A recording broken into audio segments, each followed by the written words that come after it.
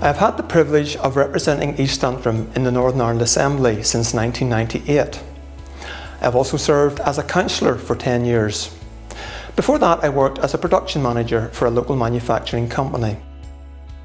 My family and I have lived in East Antrim virtually all our lives. So I know the area well and many of the local issues that affect us. I'm an active member of Lou Presbyterian Church where I serve on the committee and as a Boys Brigade officer.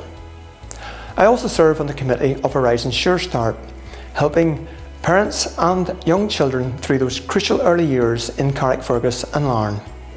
I grew up on a small family farm where a strong work ethic and a determination to get things done was ingrained in me from an early age. Social justice and helping those in need and providing a responsive government is what motivates me when carrying out my duties. I want to ensure that everyone is treated equally and fairly and that everyone can reach their full potential. As your MLA, I've consistently sought to address the needs of the people of East Antrim and with your support, I would wish to continue to do so. The Ulster Unionist Party is committed to building a peaceful, prosperous and inclusive Northern Ireland within the United Kingdom for the benefit of all. We put the public interest before our own while others make side deals and political carve-ups to suit their own narrow self-interests. There is a crisis in our health service. Too many of our young people do not reach their full potential.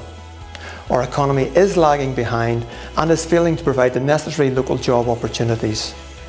This executive is not delivering. We are determined to make Northern Ireland work better. In East Antrim, we are putting forward a strong local team which can deliver results. At the next Assembly election, I am asking you to vote for myself, Roy Beggs, and my running mates Maureen Morrow and John Stewart on the 5th of May.